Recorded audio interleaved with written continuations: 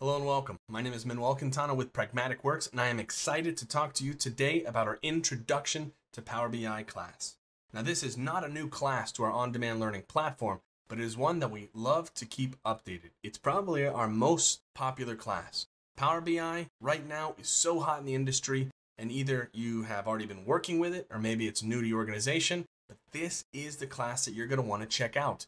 Tons of content. It's going to take you from zero to hero you're going to feel great at the end of the day, and we cover so much material here.